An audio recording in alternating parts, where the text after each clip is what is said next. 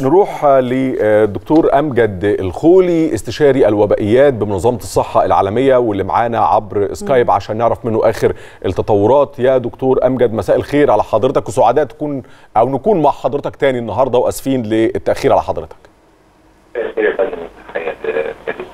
أهلا وسهلا. أهلا بيك. شايف حضرتك إزاي التعامل المصري؟ عشان طبعا ده بيهم شأن مصري يهم الناس إنها تطمن. منظمة الصحة العالمية شايفة إزاي الإجراءات وقبل الإجراءات الشفافية اللي بتتعامل بيها الدولة المصرية مع هذا الخطر والوباء العالمي.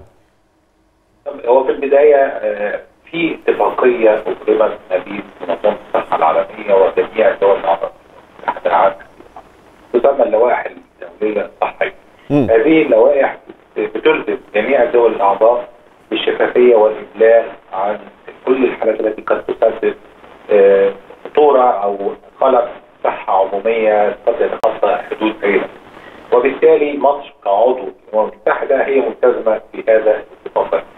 منذ اكتشاف الفيروس وحتى ما قبل هذا يعني خلينا نرجع للتاريخ منذ 2009 لما حصل تفشي جائحه انفلونزا في 2009 ما كان يقف في انفلونزا الخنازير في هذا الوقت آه ومنذ هذا التاريخ ومنظمه العالميه المكتب القطري في القاهرة مع وزارة الصحة بيعملوا بشكل دؤوب للاستعداد للجائحه القادمة.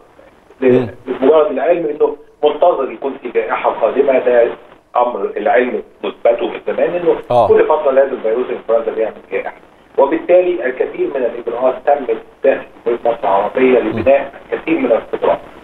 في الفترة اللي فاتت خلال السنوات الأخيرة الخطوات دي تمثلت في مراكز الترصد الأمراض التنفسية مختبرات فرق استجابة سريعة منافذ دخول بالإضافة إلى القدرات الخاصة باللوائح الصحية يعني حضرتك شايف إن مصر تمتلك القدرة وتمتلك النو هاو يعني أو الإمكانيات اللي تخليها تكون آه يعني جاهزة للكشف عن أي حاجة تحصل في مسألة العدوى بالفيروس؟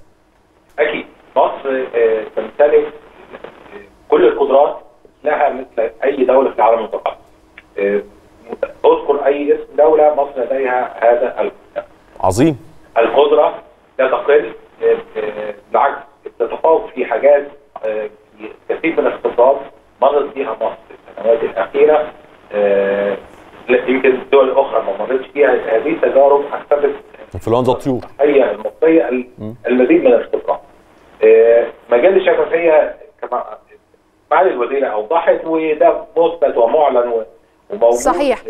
إنه الدول ملزمه لسببين الجانب القانوني توقيع الاتفاقية التي لها قوة القانون بالإضافة إلى الجانب الاحتياجي جانب المنفعة. دكتور أنا هستاذنك نتوقف عند النقطة دي تحديدا. مهم جدا إن إحنا نوضح التعاون اللي حضرتك بتتحدث عنه ده. لسه كنا بنتكلم وإحنا بنستعرض الموقف في مصر بشأن الإعلان عن إصابات أو وجود حالات تعرضت لكورونا لا قدر الله.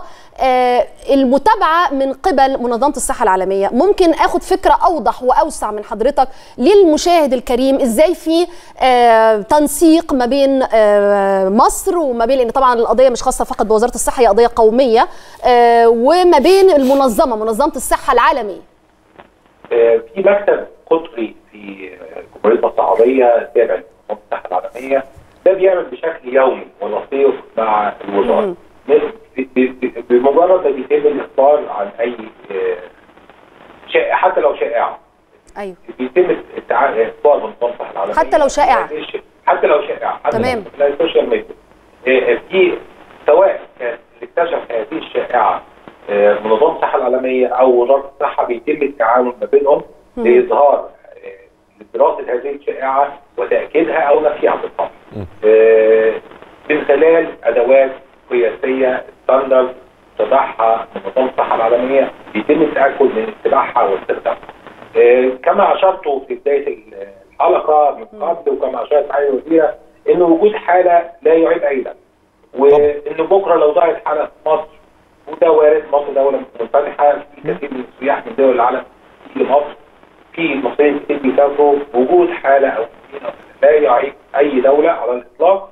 المهم هي قدرة الدولة على اكتشاف الحالات بالظبط والتعامل معاه الاجراءات طبعا.